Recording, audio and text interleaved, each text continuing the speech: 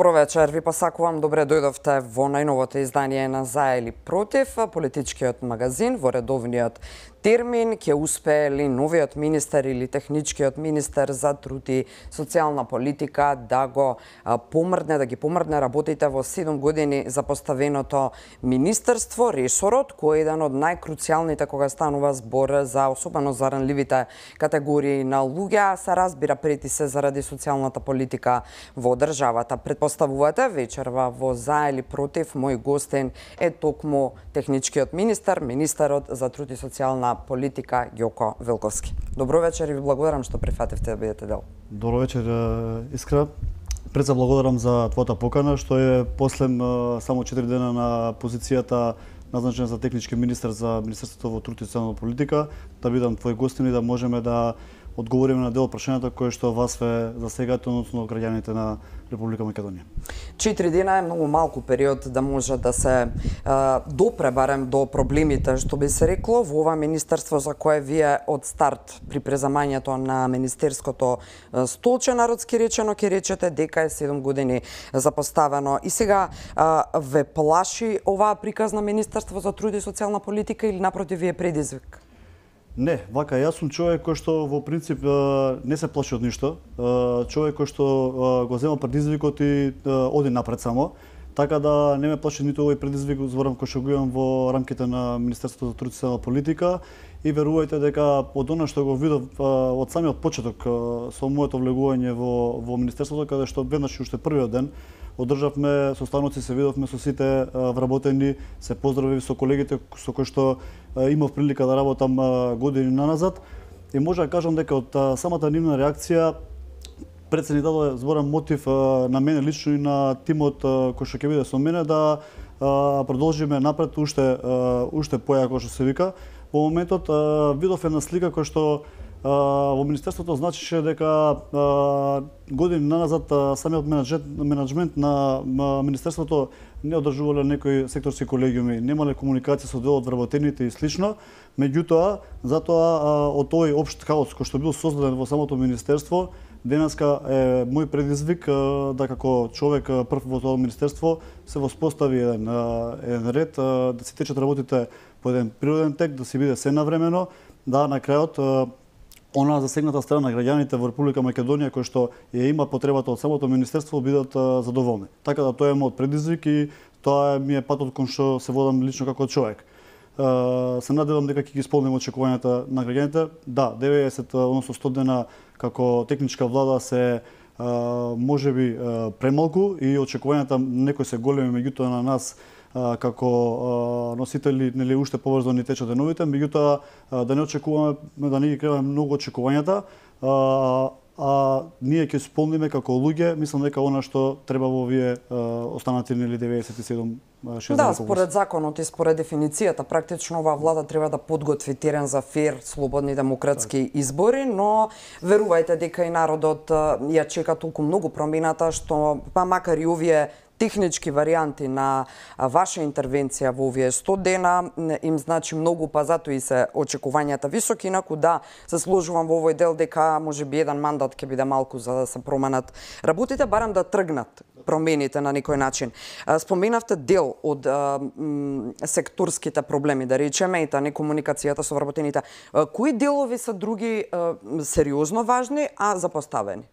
Во овие 7 години? Во овие, пазете вака, во овие 7 години да ги воде работите кои што треба зборам, менеджментите кои што биле, нели бидејќи се смениле повеќе министри во текот на владењето зборам на новаа влада, ке денеска немаше да биде Македонија нова дереч. Граѓаните во Македонија немаше да бидат паднати на овој степен не на социјална помош, туку буквално во сиромаштија.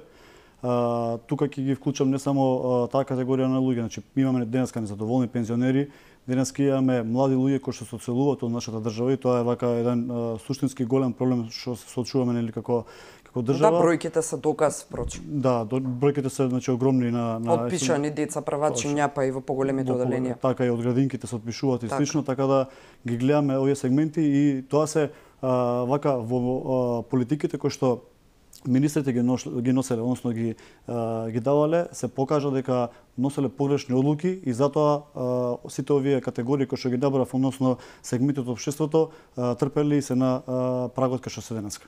Се обиделе ли луѓето кои со кои имавте средби овие 3-4 дена, еве сега денеска четврти ден, да да допрат некако до еве најраководните структури, да се обидат да подбуцнат креирање политики или па можеби им одговарало на внатре вработените таква некаква турбулентна состојба во која многу многу па и не мора да се работи, нели? И тие биле поштедени на некој начин. Може би дел од професионалците биле и нервозни и сфрустрирани заради ваквите а, однесувања на раководните структури пред се министрите, меѓутоа има сигурна сум со оглед на нашиот ментален склоп, на нашата администрација дека голем дел од нив па и фино им дошол. Периодот на ништо не правење. Видете, Тоа е точно, тоа е еден знак кој што е во зајавната администрација, односно за луѓето кои што работат во министерствата и во државните институции.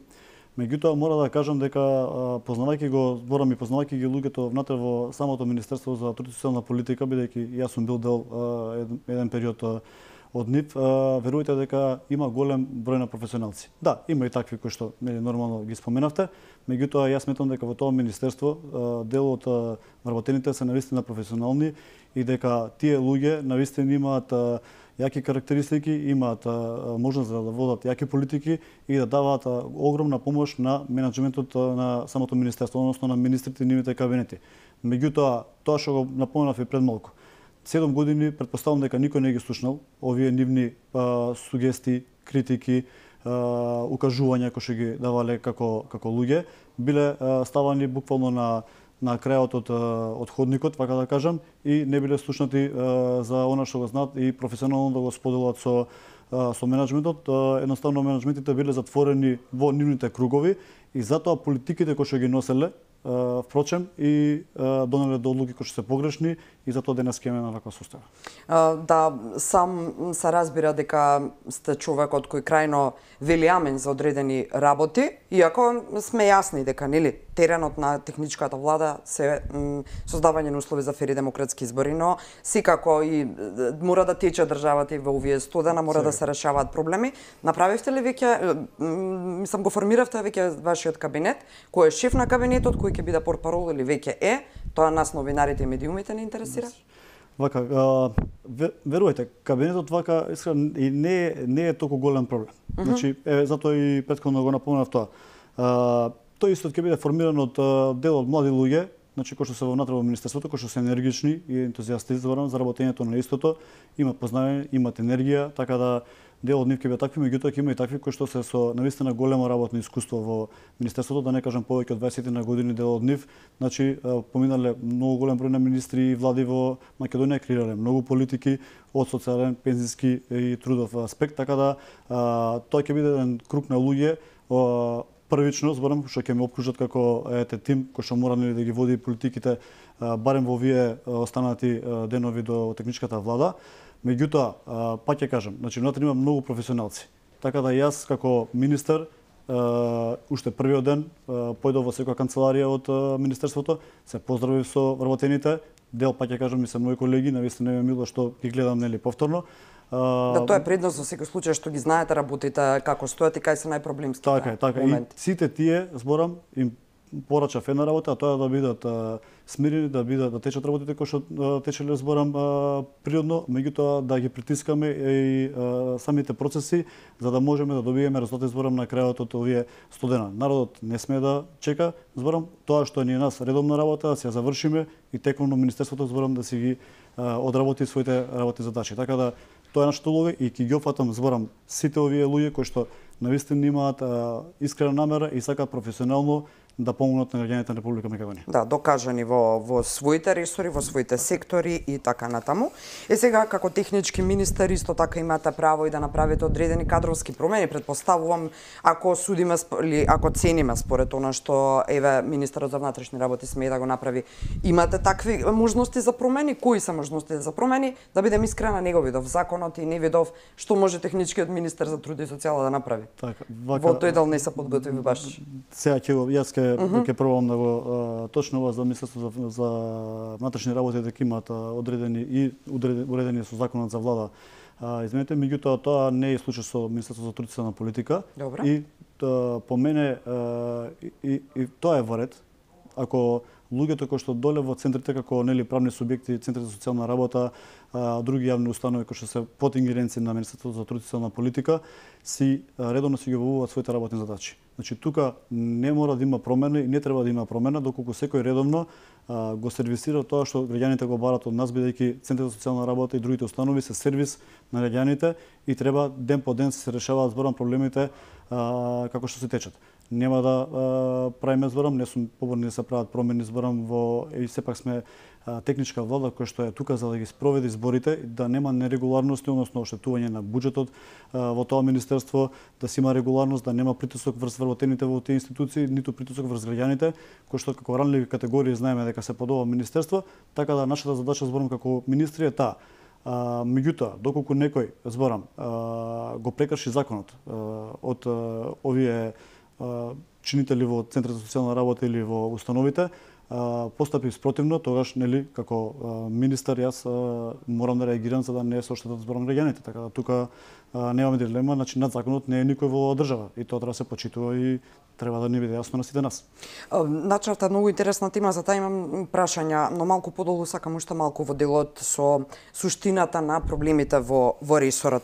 А, дали имате коректна во овие 4 дена еве соработка со заменскиот, односно дали ви се најавува плодна еве денска да речам влада во која што и тој нема да биде кочничар на вашите одлуки, ќе ве поддржува, на вистина ќе сака нешто да направите. Сега знам дека политички тоа е невозможно со оглед на контрата борите повторно народски кажано, меѓутоа реално во функција на граѓаните на како што зборувате, како ви изгледа соработката со заменскиот? Ќе биде добро да се истираат овие квалитетно студена или? Вака, јас уште првиот ден знаете дека побарав веднаш да направиме едно свечено примо предавање, меѓутоа после тоа одржавме уште два состанока на моја иницијатива, uh -huh. каде што треба да се решат оние правни нели прашања кои што се во рамките на законот за влада за да се бидеме прецизни, да не стојат работите, да не се кочат процесите, така да а, сметам дека она што го а, договоривме и за кое што пруживме рака меѓусебно, значи во делот на техничкото нели функционирање на министерството, ќе биде испочитувано и од незина страна, зборам и од моја страна како а, технички министер за традиционална политика. Да, политиките а, се различни и треба да бидат различни, тоа се коректорите нели на општеството и тука ние нели ќе се судриме и за многу други прашања зборам политички, меѓутоа во делот на функционирањето на 100 дена на а, самото министерство и кон вработените зборам и кон самите процеси треба да течат зборам неминуно, тоа беше и мојата порака. Се надевам дека еве после четвртиот ден дека тие односи ќе останат така и до крајот на мандатот и нема да имаме проблем по однос на таа техничко, техничко функционирање во самиот во самото министерство. Да, колку и да е комплицирано овој начин на раководење, сепак може би до некаде и добро заради тоа што ќе можете и да однатре соочен со неа во овој случај да ги а, јавно изнесете проблемите кои до сега морале да бидат решени, а не се решени. Но ајде уште малку за конкретно, односно конкретно за проблемските прашања малку подолу уште сакаме едно така интересно интересен момент во 2020 кога Рашила Мизрахи седна првиот ден во вашето столче како министар технички во тоа време рече дека министерството за проблеми конечно е време да стане министерство за решение Македонија. Од она што го зборувате до сега можам да заклучам дека ни од далеку не е почнато да бидува Министерство за решенија. За жал така е. Само е полошо од 2020 навам? Па видете, да мислите дека нешто направиле, значи во овие 7 години владата на Социјалдемократскиот сојуз, па да беа способни изборами да направиат нешто, немаше да видиме нова дирече денеска. Граѓаните на Македонија немаше да бидат нова дирече на ова сиромаштво кој што се случува во Македонија денеска. А, а, а зошто го темелам зборам ова што го зборам и од каде го влечам, а тоа се ако видите слободно значи анкетите кои што нели разноразни а, истражувачки медиуми ги прават е тоа дека а, граѓаните а, јавно го кажуваат тоа дека сакаат промени. Значи сакаат промени, значи сакаат промени во социјалниот сфера, сакаат промени во пензиската сфера, значи сакаат промени младите кои што нели заминуваат се почесто државата. Така да јавното мислење е многу многу јасно и на сите ни е предзнак на на каде води. Тоа е промена на оваа влада, односно доаѓање на една, на на нова влада во здраве Боже после 8 мај. Така да не е помрнато ништо од, во овие 7 години, дури мислам дека вака пона ја што гледам и како статистика и она што го гледаме нели реално надвор на помеѓу граѓаните е дека навистина сме на дереџе на една сиромашти. А, дали би можело да се очекува Јоко Вилковски да биде во идната влада и министар реален за труд и социјална политика? Видете, мојата улога која што беше доверена од страна на ВМДПМН ДПМН е тоа да овие 100 дена технички, како технички министер, ги спроведам работите во Министерството за трудна политика, затоа што моето професионално знаење и познавање на самиот ресор и на самото министерство ми дозволува да многу брзо така ги сознам работите кои што треба да да бидат нели во овие 100 дена, односно да се да во областа кај што се делува. Така да а, со Господ напред да се завршат а, овие избори а, на 8 мај а, без а, да има одредени а, нерегуларности, ниту притисоци, тоа е мојата нели задача во мојот ресор а, потоа се знае се одлучуваат зборами нашите органи во партијата и граѓаните ќе се кажат на крајот дали сме сработили дали сме квалитетни. А кои се најпрвите, еве дека бидат топ три работи кои ќе ги направите, мора се уште да зборуваме во ке бидејќи сепак е само така. четврти ден. Значи што прво или први три работи ќе ги направите најдно? Uh, во периодот што следи. Па вака, да, веќе веќе вака започнавме да а, започнавме одредени прашања кои што биле запоставени да ги а, да ги осознаваме, да ги добиваме зборам сите информации подоци кои што за жал не биле обзнанувани зборам на во јавноста или јавноста не ги знаела сите нели аспекти на делувањето на Министерството за традиционална политика и, и одлуките и политиките кои што ги noсело самото министерство. Меѓутоа аспектот на најранливите категории зборам социјалните mm -hmm. случаи. Тоа ќе ве подпрашав, да. Да, значи, во, која... во, во, во таа насока зборам ќе идеме тие се вака една категорија на граѓани кои што на вистина мора да кажам и покрај тоа што зборам можеби се во системот за социјална заштита, меѓутоа не треба да биде самиот систем зборам и таму да ги држиме, значи треба тоа исто mm -hmm. да се напредува и тука а, зборам имаме нели идни политики кои што ќе ги креираме, еве за жал во овие 100 дена а, знаеме каков ќе биде и зашто ни е улогата, меѓутоа за тоа за понатака знаеме и а, знаеме каде треба да бидат насочени тие политики. А, тука се категоријата на пензионери, кои што може да ги гледаме секојдневно како се бунат дека а, да се обесправени, дека нивните права како едни од заслужените граѓани во нашата држава и креирањето на истата денес имаат, да не кажам, пензии под секаков стандард. Додека функционерите имаат сериозни плати?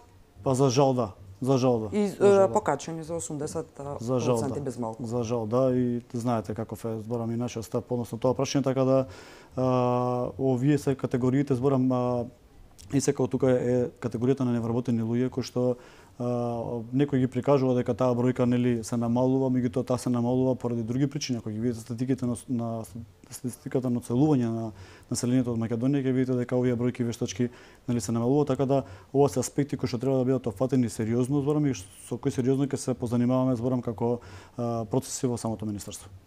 Да, добро, голем залаг во секој случај, голем предизвик, но мора да се почне од некаде. И сега во целата оваа конструкција, знаеме кој е ставот на ВМРО да ДПМН за Тала Джефери, видовме и како а, делувавте на денот на гласањето на техничката влада, како партија зборувам не вие лично. И сега што очекувате во овие 100 дена од Тала Джефери? Што еве вие како министер очекувате од него? Па видете, она што и ние го имаме како улога, зборам, во самите министерства и министерот за МВР, кој што е технички од редовите на ВМРО допомене и јас и нашите заменици во земјоделие во Министерството за информатичко општество и во Министерството за финансии, навистина ќе влеземе во еден процес, зборам, на, на избори, таму негде нели прилика помеѓу 14 и 20 февруари претпоставувам дека ќе се донесе таква една одлука во собрание. И кога ќе навлеземе зборам во еден таков процес, сите зборам нередовни процеси застануваат, односно се оно што е врзано со изборните процеси ќе се намалат и односно ќе застанат. Така да нема да очекувам ништо повеќе од тоа да технички онија буквално ја води оваа оваа влада во овие преостанати денови зборам колку што има до крајот на изборите и а, не се големи моите очекувања искрено а, дека нешто ќе променат суштински или нешто ќе направат зборам дополнително за граѓаните на Македонија. Успеа ли барем на кратко да излезе од својата кожа, која има различни манифестации, односно неговиот израз сме го слушнале во секакво издание сега поранишниот спикер Џафири, па да ви се обрати можеби преку мејл со некоја фина, позитивна, конструктивна порака како први луѓе во ресорите кои без разлика што технички тој сепак ги ги води да покаже известна конструктивност. Влада е ова, извршна власт е колку и да е техничка и колку и да е пред избори. Така, не, денеска не, не сме имале можност за комуникација. Бевме поканети на седница на, на првата, на првата седница, седница, да. каде што беше закажана, да не кажам час за час, веќе јас Вие не бевте? Да, не бев присутен бидејќи веќе имав закажано теренска активност која што сметав дека е по поважна да се видам со граѓани од со граѓани протоколарната седница. Протоколарната седница а кога вие закажа првата седница? Буквално, Буквално во 5 до, да, 12? 5 до 12 беше закажано, така да и затоа и не не го одложив она што мисля дека е поприоритетно за граѓаните на Македонија и да прикажам некоја одредена слика и да на народот да види со каква реалност се сочуваме, а не со Мерцедеси пред на плоштата и слично. Имено, тоа се сериозни демонстрирања на мок или обиди за демонстрација на мок, особено пред албанските, односно гласачите од албанската заедница во Македонија, кои се обидуваат наназад не само тој ден да го направат ДУИ, раководството на ДУИ, додека пак раководството на СДСМ гледавме како постојано молчи. Е сега сакам да преминеме малку е, кон политички други димензии актуелни деновиве исклучително, а потоа и пак да се вратиме на ресурните прашања кои ги интересираат граѓаните, ама еве вака новинарски ќе го изиграм да останат и да ги е, изчекаат и овие конкретни прашања за конкретни проблеми кои го засегаат труд и социјал. Она кое што го имавме во информативните изданија, сигурно имавте прилика и да го слушнете на другите медиуми, бидејќи бидејќи гостуваше Павле Трајанов во ТВ24 и од таму е практично оваа изјава. Тој ќе рече дека ниту во Париз, ниту во Софија, ниту во Скопје, туку францускиот предлог е напишан во мала речица од страна на представници на ДУИ и бугарски дипломати. Значи, не се Ковачевски Пето, Петков креатори заедно со нели нај една од најстарите членки на Европската унија, односно Франција, односно Макрон, туку Али Ахмет и неговите сопартици во соработка со луѓе од Бугарија. Ова Како ви звучи фактот што Дуи ја скроила, ако е вистина, политиката на, на идентитетското бришење на Македонија дотолку повеќе во иднината која следи? Како ви изгледа? Очекувано? И се изненадивте? Видете, не сум изненаден. Uh -huh. Од која причина? Значи, ние постојано говориме, значи, кажуваме дека Дуја води ова држава.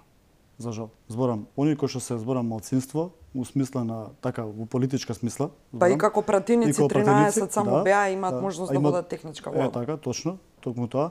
А, од таков аспект и вака не не беше неочекувано дека можеби имало таква една зборам нели констелација која што uh -huh. е потенцирал пратеникот Трајанов.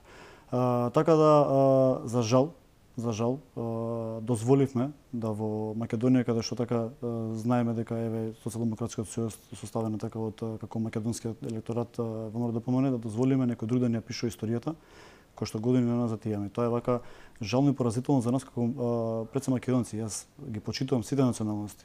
Албанци, турци, роми, власи, значи сите да ги почитуваме и ги почитуваме и тие се дел така од нашето секојдневие, така да секој од нас треба и да учествува во одредени нели промени и ставови и слично, меѓутоа не да дозволиме само едни да ни кројат нешто што така а, реално постоело или било минато за нас реториката на власта практично или директно или индиректно представена, презентирана, напишана од провладините пера, еве нека биде така, е дека нас самите не можеме да се помогнеме и не можеме ништо да направиме, нас не треба Европска унија, треба од се да се откажаме за да ги почнеме процесите, бидејќи самите ништо не можеме да направиме. Ќе можеме ли самите да направиме по промената на власта ако ВМРО ДПМН води парти, владата, односно државата, държавата во смисла на тоа дека ќе следат болни промени, реформски процеси во кои ќе треба да се судрите како партија владеачка и со електорат, бидејќи нема реформи кои не може да бидат кои не, не, не се болни. Секако дека секој реформски процес и процес на промени прво е тежок, а потоа почнува фаќа некаков некаков тек. Имате ли сила да издржите едно такво темпо да се врати до вербата на граѓаните? Да, секако дека имаме. Видете, а, ние не сакаме да ги почнеме процесите да зборам од нула. Треба да сукаме едни ракави, зборам, да сукаме ракави и да почнеме да ги работиме, работите зборам од од кашо се, да ги подобруваме самите процеси и да можеме на тој начин овие зборам а, европски а, процеси кои што да, дека што треба да дојдеме зборам нели во Европа, да имаме а, можност а, да ги постигнеме истите. Зошто го говорам ова? А, видете, значи секој процес е болен, знаеме. Значи ние сме навикнати како граѓани на нели одредени е, одредени работи кои што ние секој не ви. И истите треба да се променат. И така е, за ако сакаме да бидеме подобри, ако сакаме да бидеме поуспешни, треба нешто да промениме. И тие промени треба да дојдат да зборам по еден природен пат и мислам дека како ВМРО да помане. И утре идна влада имаме сериозен капацитет и капитал во човечки ресурси во самата партија, меѓутоа и професионалци кои што не поддржуваат, професори и слично, uh -huh. кои што можеме сите заеднички да а, направиме еден добар пат кон а, а, овие реформски процеси, истите да ги спроведуваме во Македонија и на крајот да дојдеме најлегитимно на патот кон Европската унија и да станеме членки. Здраве Боже. Значи, меѓутоа тоа можеме заеднички и со голема борба и да за сукани ракави. Како никогаш до сега, последниот период, дури и амбасадорите кои се во државава, ни ги кажуваат работите баш онака најдиректно, избегнувајќи ги и нај вулгарните, ако постојат такви дипломатски речници, значи директно во чело кој не е проблемот и да прво тука треба работите да се ги средиме, а потоа да очекуваме било каква подршка за влез во европското семејство. Ајде да се вратиме сега на проблемите кои директно го засегаат или или на некој начин го засегаат министерството кое сега го водите. Алфа ја тера оваа тема, не сум сигурна дека имам видено на другите национални медиуми, нека ми простат колегите ако не е вака. А, значи неколку дена поред предупредуваат негователките во Струга дека од 1 февруари буквално нема да доаѓаат на работа во знак на штрајк и протест. А, прво прети се заради тоа што работат по 18-20 години без решени работни односи, значи не се пријавени на неопределено време и уште помизерната фактичка состојба е дека досега работеле за 10.000 денари, понегувател, месечен надоместок, 10.000 денари, замислете, тоа е едно пазарење, да речеме, во овие поизвиканите, условно речено, супермаркети, а, за да си го наполните фрижидерот, како и да а последната најава им е дека ни тие 10 нема да ги земаат, туку само 5000 денари. И во една ваква страшна ситуација не наидуваат на слух од страна на општина Струга, односно пред се градоначалникот Рамис Мирко и направи онака како што предупредува, односно не се појавија на работните места, се создаде хаос, станува збор за над 500 дечиња кои треба да бидат згрижени во градинките, родителите треба да работат и немаат како ниту да се организираат, ниту што да прават и за да перверзијата биде уште поголема.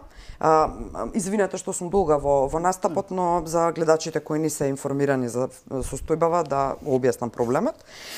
Денеска од известна одговорна директорка или некоја од општината, како и да е, која не сакала да зборува пред камерите јавно, само им рекла дека допрва ќе разговара во обид да се реши проблемот со градоначалникот Мерко. Ова е безобразно, срамно и просто не постои епитет кој би можел соодветно да го да го да опише или да објасни ситуацијата ситуацијата кон овие жени во фаза на развој на децата кога им се најпотребни воспитувачи и негуватели во тој образовен процес. Значи, допред ова со овој проблем, ви се обратија ли може би, што може да се направи, четири дена сте добро, но еве може ли никако да се направи притисок врз мерко да се освестат, што може да се преземе, еве во моментот. Вака денеска е јас бидејќи четврти ден е, меѓутоа бевме е, затечени зборам од една, една ваква ситуација.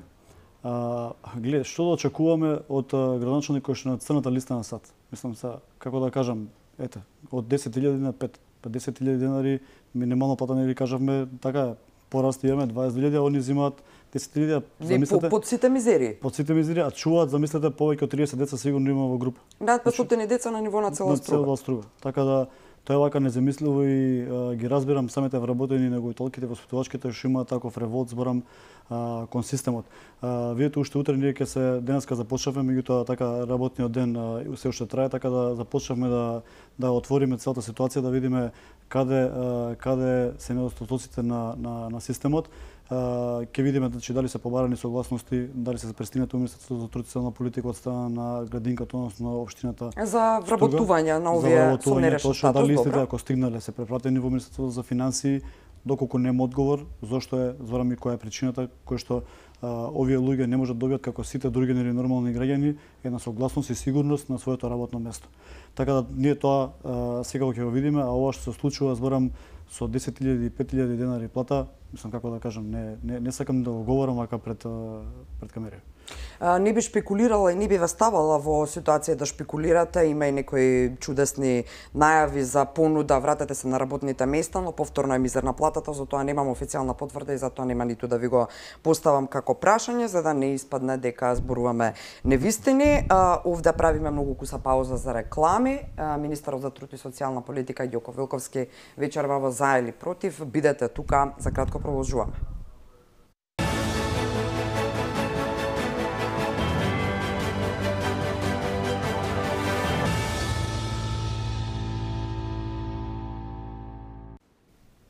Добро дојдовте во втората половина на За или против во живо вечерва, четврток, на гости во студиото ние министерот за труд и социјална политика Јоко Вилковски за тие кои сега почнувате да не гледате.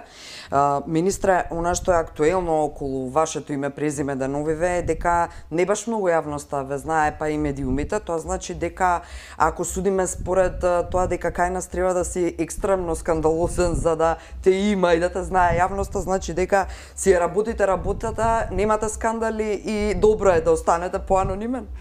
Видете, предпоставам дека да, меѓутоа, видете, тоа што некој пат не, не ве познаваат, односно немате некакви скандали или се збори вашето име, е предпоставам дека и предност во некои ситуации, како што е моја во ситуацијава, така да и како политичка партија покажам усвари дека имаме луѓе кои што навистина се професионалци и навистина може да се носат со одговорни позиции дека сме различни од претходно. Да, не мора да се скандалозен за да јавноста сепак и има впечаток за тебе и се заинтересира и да слуша во суштина. Добро е, дај Боже и тој ментален склоп да си го смениме како народ.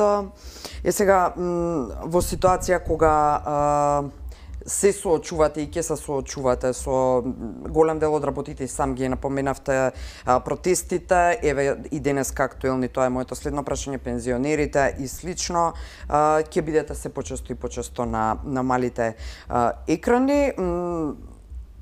Она што вчера и завчера беше можеби ги исплаши, ја исплаши јавноста малку повеќе и денеска веќе последователно се случуваат работите е дека фондот за здравствено осигурување нема да функционира бидејќи таму добиле насоки да им ги намалат платите на вработените, а тоа повлекува и да неможност на граѓаните да се остварат право на боледување, право на здравствено осигурување и така натаму бидејќи од таа администрација во фондот практично зависат овие работи.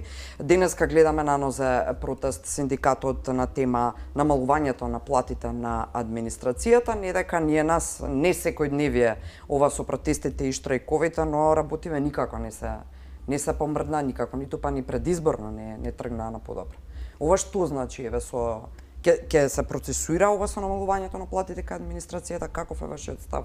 Ке успели да се спречи, треба ли да заврши сега во моментот и да не се случува ништо во периодот што следи? Вие по однос на тоа, по мене не треба да се случи. Зборам.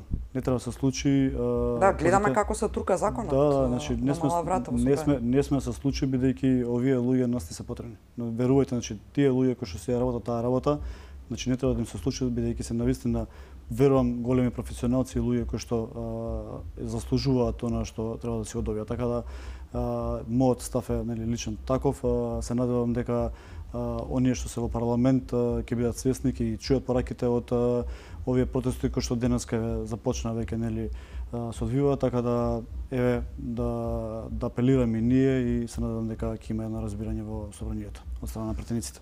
Да, да се надеваме дека тоа ќе биде така.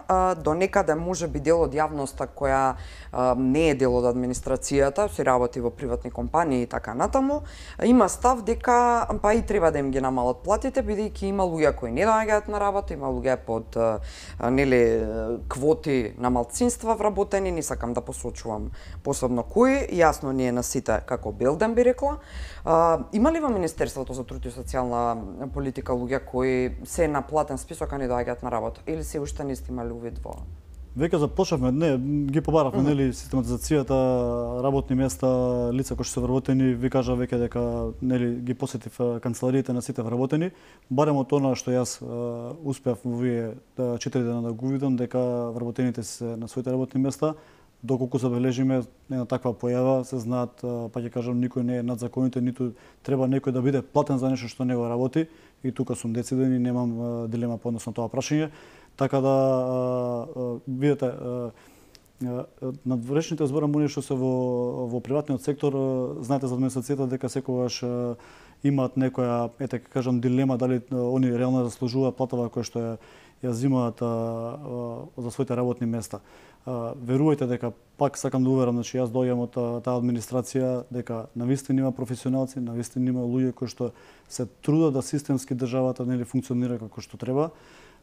И имаат поддршката сите оние кои што работат, сите оние кои што не работат, зборам, или биле донесени по разни основи и седат само така на своите работни места, сум секогаш да нели си имаат одредени правни санкции како што треба. Така да тука Да, да не изгори покрај сувото и суровото што би так.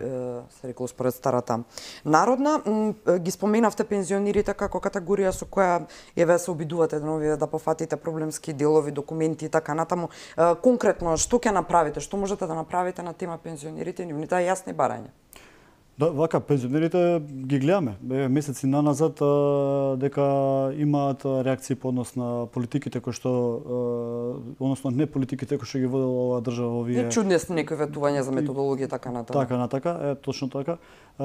Видете, овие се граѓани и кажав и предходно кои што изградили оваа држава. Значи, заслужени граѓани, наши татковци, баби, дедовци кои што нас ни оставиле да зборам нешто државата за да имаме ние нели да живееме. Така да овие луѓе верувајте ќе отидат во продавница, во супермаркет, во аптека, буквално својата својата месечна пензија ја трошат не за 30 дена, за 15 дена и помалку.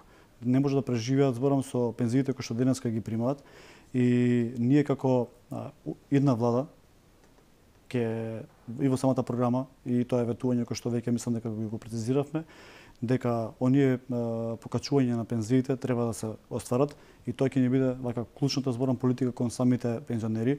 Тоа е само нели еден чекор кој што а, сега во овој момент а, го го дискутираме, меѓутоа ќе има многу поводности за самите пензионери кои што а, реално заслужуваат. Заслужуваат наше внимание, заслужуваат наистина да бидат ценети и да имаат повеќе од оваа држава.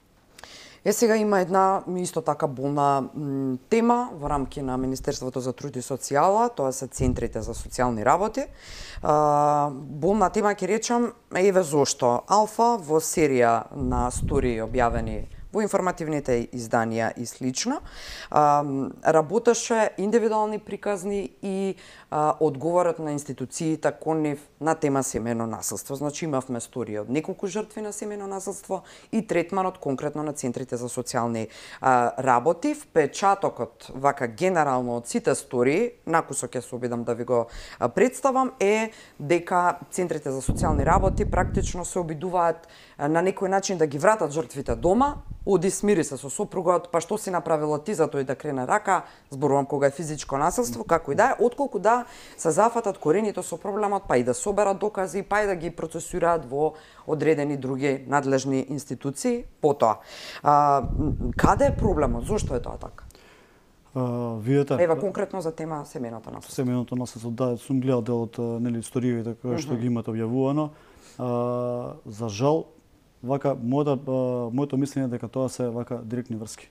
Значи директни врски помеѓу оние кои што го сториле делото со дел од вработените кои што треба да Имено и тоа беше, извинете да што заборавив, тоа беше пред се посочено дека практично насилниците фаќаат врски во центрите и така поаѓаат по блокот. Е, така, значи, вака и тоа е моето мислење, за жал, бидејќи во прашање човечкиот фактор, нели, одлуката е кај тимот на, uh -huh. нели, од составен од Центарот за социјални работи, кој што треба да се грижи, односно да го расветли случајот дали некој а, сторил некоја одредено действие врз дали е тоа семејно насилство или нешто друго, а, во еден кон друг, а, тука се врските и са тие врски видите потекнуваат од можеби две страни, едно е она што значи пари, а друго на блискост со некого и слично. Така да а, доколку тоа зборам јас лично како а, како министер а, во период кој што следи ќе бидат повикани сите центри за социјална работа, односно директорите, ќе успееме мислам дека да ги посетиме сите во Македонија, сите 30 центри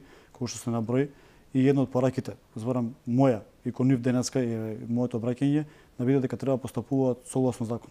Само согласно закон да се процесуираат сите работи, да а, се знаат навремено и истите да не, да нема второ действие зборам кој што ќе биде а, оштета, да има оштетена страна.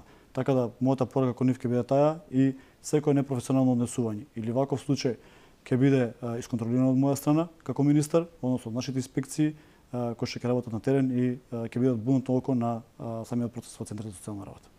Знам дека исто така е не може да се одговори во некоја минута и следново прашање, но е проблем кој а, за волја на вистината во еден дел од владењето на ВМРО ДПМН оние 10 на 11 години и на вистина горе долу се имаше расчистано. Значи децата питачи на крстосниците, а, за да сега а, оваа слика која што е во Скопје е полоша од било кога низ историјата, барем од како јас сум еве возач можам јас легитимно да тврдам, судејќи според моите години возачко искуство. Што може најбрзо да се направи? Како може тоа да се реши, бидејќи од Министерството до сега добивавме информации, ама ние на терен излегуваме. Одиме, правиме вештачење или како и да истражување на терен со конкретно со родителите на питачите кои држат бебиња и така натаму, ама тоа не е доволно, очигледно не е доволно. Не е доволно. Вака, а, голем проблем кој што се случува и сликата, мислам, сите ја гледаме, во главниот град е тоа премногу, мислам, видливо, меѓутоа мислам дека низ целата република во поголемите градови дека е тоа е, ситуација, слика, да, да, е слика кој што се појава. Видите вака, нив о, самите зборам деца питачи ги создал системот. А, и системот во кој што во овие 7 години не успеале да го профункционираат, односно да овие деца бидат ставени во во еден сегмент на социјална грижа, односно во училишна, предучилишна и слично и во образованието. Така да тука потврлиле зборам во на превенција, сами самиот систем потврлил, односно Министерството и Центарот за социјална работа потврлиле во во еден таков сегмент и затоа денеска ги имаме зборам во толков број овие овие дечиња. Да, сиромаштијата е едниот сегмент, меѓутоа и неработењето зборам на оваа категорија на на луѓе, па и со нивните родители доведува до до ваквата ситуација. Што може ние да направиме? Бидете, јас сум бил дел од протоколот на на деца на деца од улица. Uh -huh. И знам и намале бил на вистина бројот. Значи сум бил сум работел и знам како треба се постапува така да Значи прото... имало некогаш резултат, имало, успеало некогаш. Резултати, имаше одлични резултати, зборам и работевме на вистина интензивно во еден период да ова се намали да истите тие бидат ставени во еден систем каде што на вистина ќе бидат а, а, во една рамка добро и изгрижени. Меѓутоа, оставени се така денеска, има начин, а тоа е да меѓусекторската група која што по протоколот кој што е, мислам дека одличен и тој функционира ден денес кој што е направен порано, е да Министерството за традиционална политика заедно со Министерството за образование и наука и Министерството за МВР како асистенција така. во овој процес да сите заеднички доколку нели работиме да оваа бројка се намали и системски зборам овие луѓе навистина бидат згрижени како што треба и биде разговарано со нивните родители. Да, така да има начин, има власт... начин, има начин и мислам дека во период кој што следи ќе работиме интензивно збораме на оваа проблематика за да можеме да да да се намали вакви број. Баш заради тоа што има начин, впрочем, се недозволиви они одговори од вашата предходничка, односно од министерството до сега па изминатите сите 7 години дека се работи на терен и се прават нели обиди да се расчита дека екипите се надвор социјалните работници и слично тоа не е одговор бидејќи не не го решава проблемот. Имаме уште само ми се чини околу 2,5 минути. Сакам да ве прашам за она нешто кое што стои а, како бекграунд на Јуко Вилковски во периодот изминат, э, две години малку и повеќе од тоа, а тоа е дека си э, поднесовте оставка од позицијата на генерален секретар во град Скопје.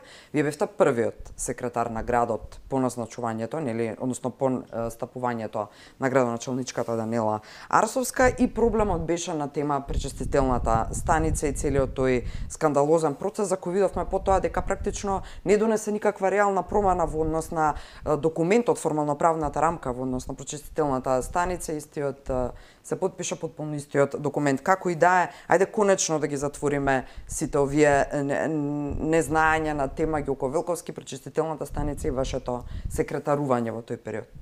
Така, вака, видите, таа една епизода која што многу добро намерно влегов, зборам ми како професионалец, да по назначувањето нели именувањето на граначалничката додам на позицијата секретар, каде што со мојот ентузијазам и познавање да помогнам нели да работите течат во најдобар ред да градот има успех, односно граѓаните на градот Скопје да бидат задоволни.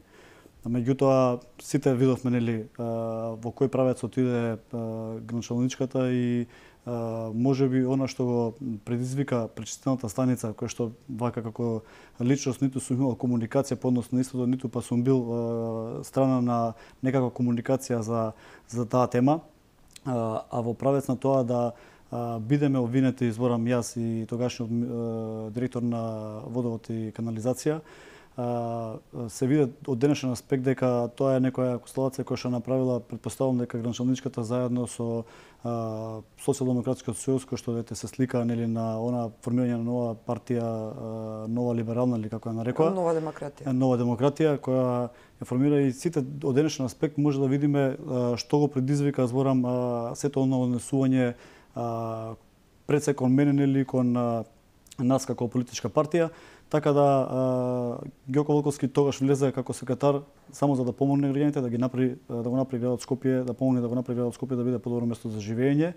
И а, мојот од, отказ кој што го поднесов беше очекуван, бидејќи нели а, немаше простор повеќе за да се соработува, ниту па да се терат оние процеси. Да, имаш и дилеми, разрешен сте, не отказ е, разрешен сте, како и да е. Си покажа времето збором како е како е ситуацијата, така да денеска и уво кажавте, документот кој што за кој што говоревме тогаш дека е спорен беше подпишан баш со истата содржина без комплетно истата содржина и подносно истото таа тема е затворена за мене, беше едно искуство како што заврши, меѓутоа и тоа е добро нели да да се соледа во животот. Финориковте фино рековте, времето е најдобар одговор на еден куп прашања. Времето ќе покаже што а, и се, после може би година, две, три, како и да што е она кое што било правилно, а што не, а впрочем и времето пред вас ќе покаже дали и реално можете да ги остварите сите овие работи за кои вечер вас зборувавме. Ви благодарам, Јоко Вилковски, вечерва што бевте дел од За против. Ти благодарам, Тереска. Почитувани се надавам дека барем успеавме да начнеме дел од проблемите и да добиеме насоки од министерот директно како и во кои правец ќе се решаваат истите, како и да е допрва почнува или тече техничката влада, пак имаме и други прилики да го испрашаме овде во студиото дали што се презало и зошто не, доколку не. Како и да е, останете на оваа фреквенција, фреквенција од мене. Добра ноќ.